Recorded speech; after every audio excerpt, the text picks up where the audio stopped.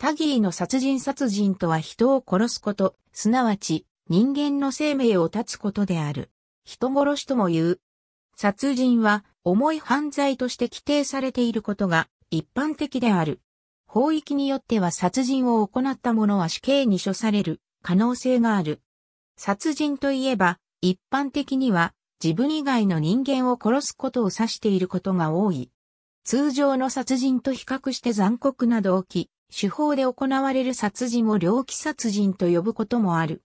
猟奇殺人を題材とした作品のことを猟奇作品、スプラッターと呼ぶ。これらの作品が凶悪犯罪の低年齢化を助長しているとの批判もある。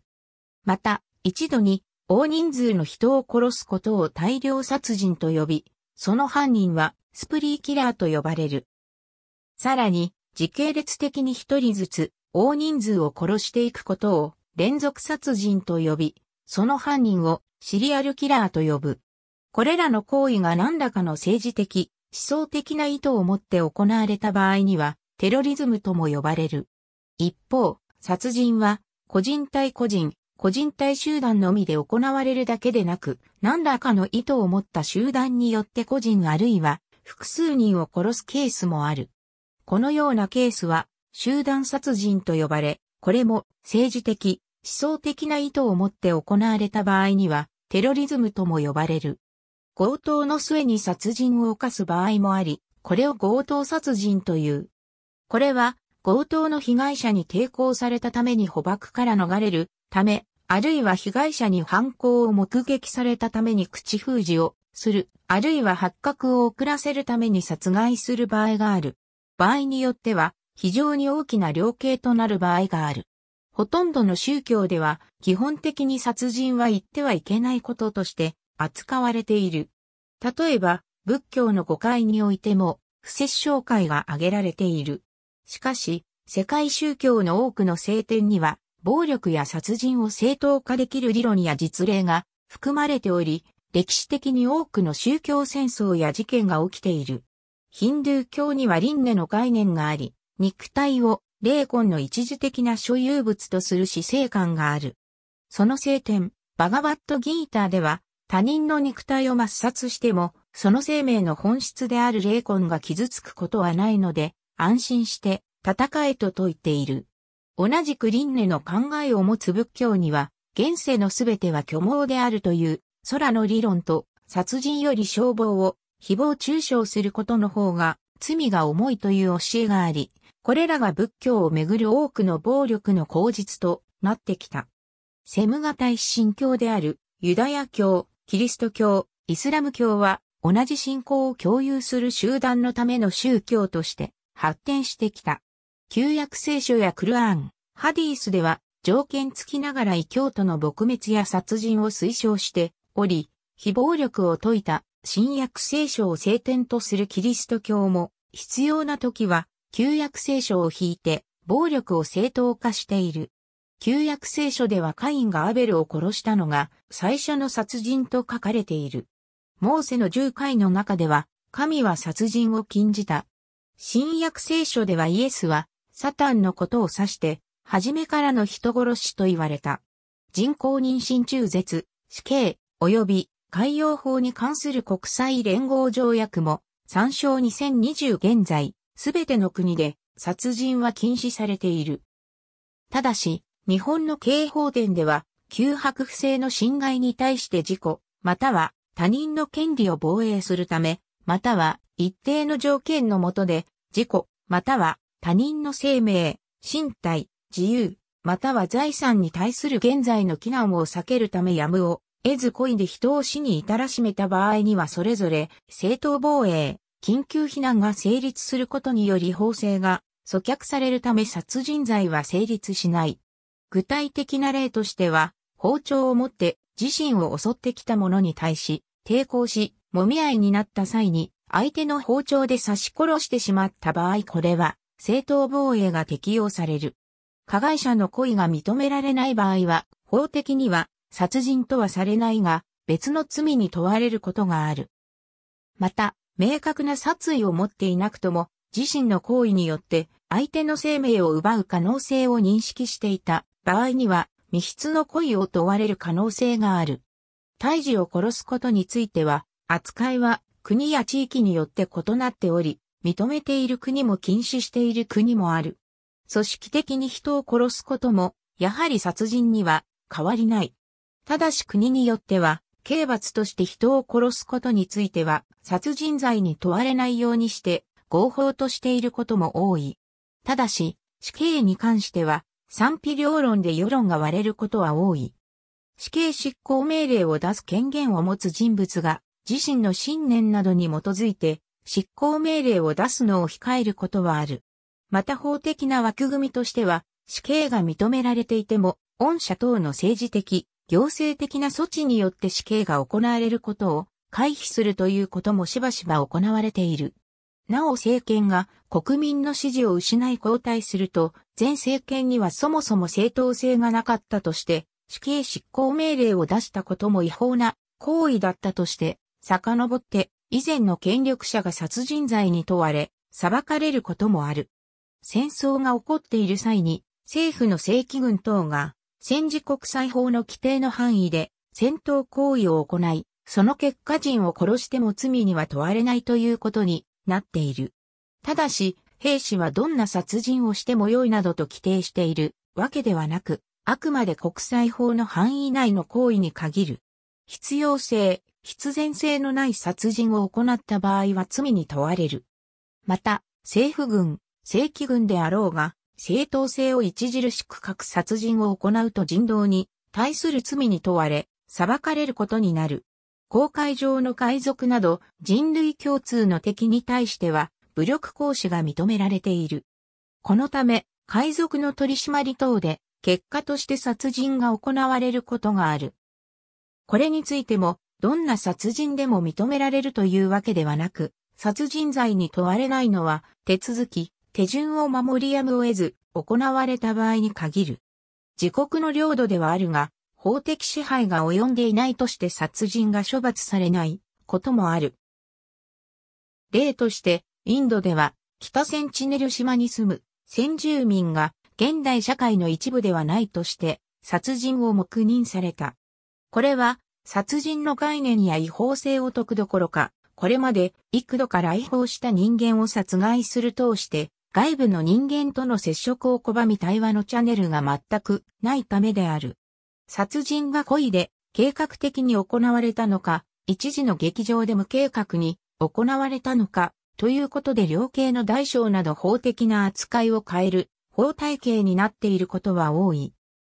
例外によっては、殺人が合法化された国家や社会がある。江戸時代の日本では、武士が無礼を働いた百姓や町人を切りつけることは、キリステ御免の規定に基づき認められていた。ただし、これも所定の手続きを踏んでいないと行えなかった。詳細は殺害、戦争、及び死刑を参照殺人は相手の人物の生命活動を不可逆的に立つことが目的であり、その手段は古今東西埋挙に暇がない。動物は基本的にすべての生体活動を司る脳の機能停止、呼吸器系、循環器系の遮断、物理的な打撃、火傷、感電等による体の損傷や失血死、毒物や毒ガス等による呼吸不全や臓器不全、国書や骨幹といった苛烈な環境に置くことによる衰弱、水や栄養を断つことによる衰弱、栄養失調によって不可逆的に死に至る。よって、手段を簡潔に例示すれば、考察、視察、銃殺、殴打、放火、電撃等の頭部や体への物理的な攻撃、毒物、毒ガス、苛烈な環境への放置、水分や栄養の遮断等が挙げられる。それらの行為は、講義では死刑執行、戦時中においてさえ、殺人と言える。そして、それらを自身に対して行った場合には前述の通り自身に対する殺人行為と言える。動機も千差万別であるが、殺人はどの国においても重罪であり、宗教、思想、感情的に寄付される。実行やその後の隠蔽工作にも大変な労力を伴うため、特定個人を殺害する場合や大量殺人、快楽殺人においてさえ、よほど強い動機を持つか、あるいは切迫した状況下でなければ、人は殺人を犯さない。まず、特定個人に対する殺意を持つ場合であるが、何らかのトラブルや嫌がらせ、考えの相違等によりその人物に対して強い像を抱き、抹殺したいという思いを強くする場合が挙げられる。大量殺人や連続殺人においては、対象が複数人に及ぶ。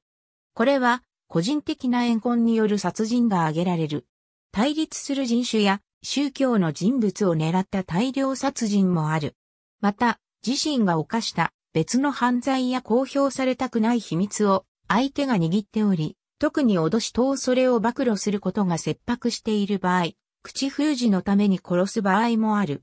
前述の強盗殺人もこれに当てはまる部分がある。一方、人を殺すことそのものを目的とするケースには、大量殺人や快楽殺人が挙げられる。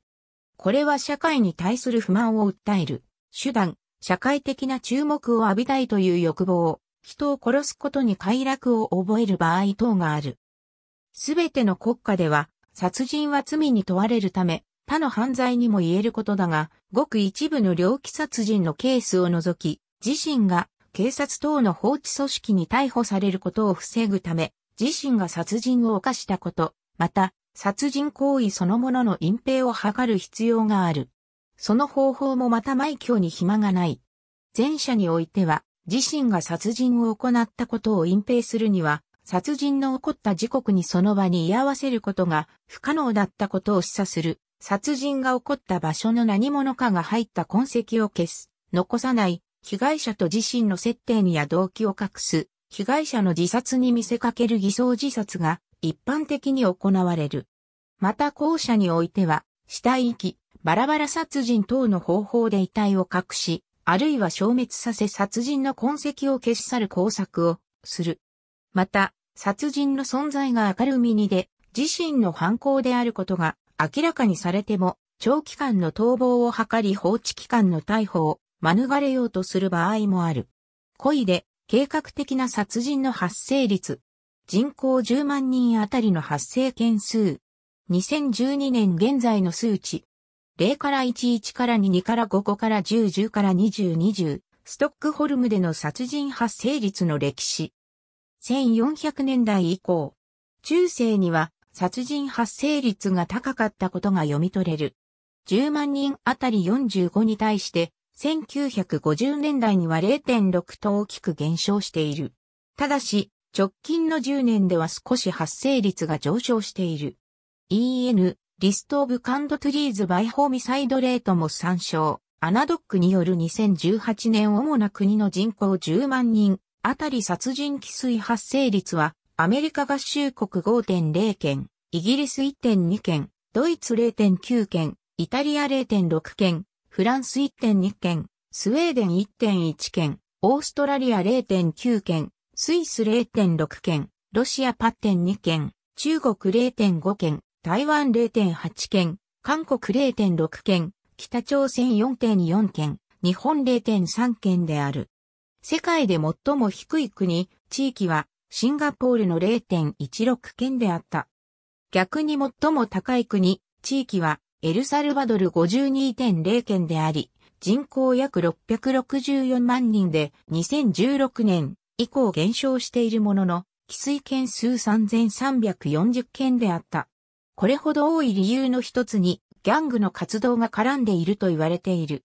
ちなみに、人口が近い千葉県は2019年で未遂含めて47件である。アナドックの調査による2018年の統計では、日本では年334件の殺人が発生しており、人口10万人あたりの発生率は0.3件で、2018年の報告書を提出した国、地域中でシンガポールに次いで低い。また、女性に対する恋の殺人の発生率は2018年で0.25件の197件であり、報告書を提出した81国、地域中でリヒテンシュタイン・シンガポールに次いで低かった。